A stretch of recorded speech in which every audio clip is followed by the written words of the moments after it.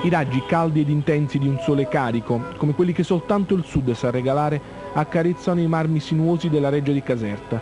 Una città si illumina d'immenso in questo mercoledì della gloria. Il giorno dopo il trionfo è tutto un inno ai leoni in bianco-nero che oggi vanno fieri del loro primo tricolore.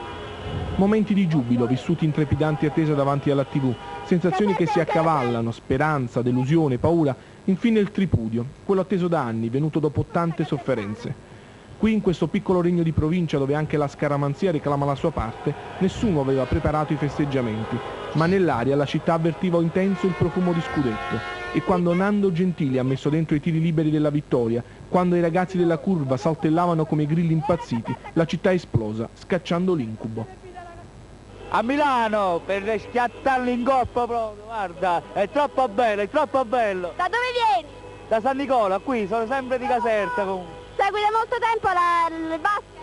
Da, da sempre, da sempre, da una vita, è troppo una gioia immensa. Di chi, è, di chi è stata questa vittoria soprattutto? Di tutti, di tutti noi, siamo troppo forti quest'anno. E ora Caserta cosa aspetta? La, la Serie B della Casertana, solo questo aspettiamo. Il popolo bianconero si è riversato per le strade, nelle piazze, una straripante muraglia umana, impressionante, splendida, che ha liberato i suoi improvvisati lampi di gioia fino a Napoli, all'aeroporto di Capodichino, dove alle 23 sono sbarcati i campioni d'Italia. Erano più di 2000 a sventolare i bandieri a gridare a squarciagola slogan, canzoni, facce stravolte, ragazzini adulti tutti avvolti da sciarpe bianconere. Il Sud sa festeggiare così, con il cuore, rendendo più belle le sue vittorie, anche le più sofferte.